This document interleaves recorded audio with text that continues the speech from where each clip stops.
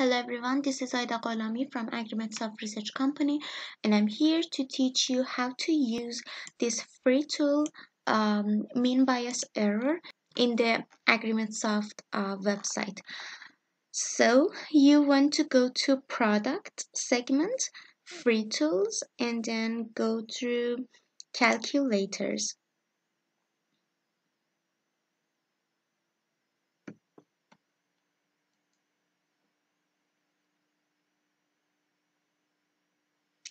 Then you come up to this um, page.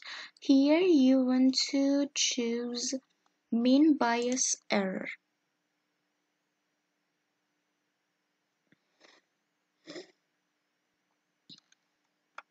So here. This is the formula as you can see uh, the mean bias error is used to estimate the average bias in the model and see if your model needs some modifications or not. So this measurement can tell you uh, how much bias do you have in your model and how is the direction? So is it positive or negative? And so each each one can tell you something different. So after uh, calculations if you see the positive um, MBE it can tell you that uh, your model overestimates the values uh, in um, in, in comparison to the observed values and if it's negative you can see that uh, it's underestimated and these things so here I want to show you how to use this tool and how to get the results.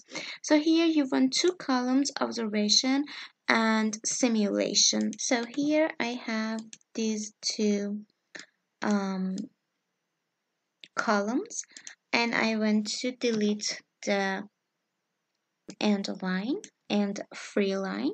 So then if you click on the MBE button, you can see the result so it's positive and it's 0.2 so you can see that uh, this model is not very bad and it can simulate some good results.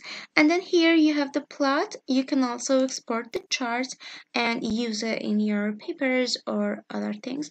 So that's it for today's video and i hope you all learned something new. Please give this video a thumb up and subscribe to AgriMetSoft youtube channel. I will see you in the next video and bye